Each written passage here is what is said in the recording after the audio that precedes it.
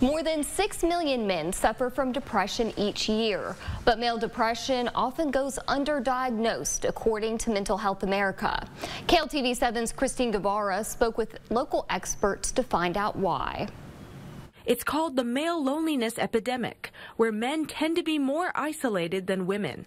The National Institutes of Health says this is due to issues regarding social status, health, finances, or trauma. And that's not something that's new from COVID. In fact, Pew Research, even up to, you know, decades before COVID, were demonstrating that there was a decrease over the decades, over the generations of men having support. Rebecca Shaw at Tapestry Counseling says the isolation and the stigma around seeking help makes men more vulnerable to mental health issues. Men, unfortunately, in our culture have been taught that tears are a sign of femininity or weakness. And so the only thing they're allowed to feel is anger or happiness.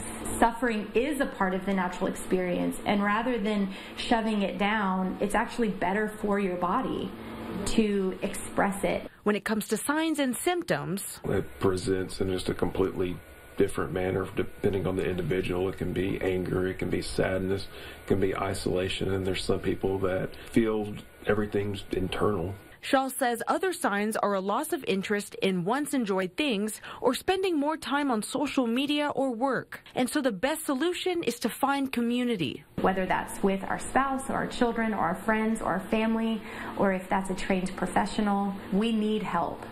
And it's not a form of weakness to need to talk to someone about these things. But it doesn't make you any less of a man for asking for help. Christine Guevara, KLTV 7 News.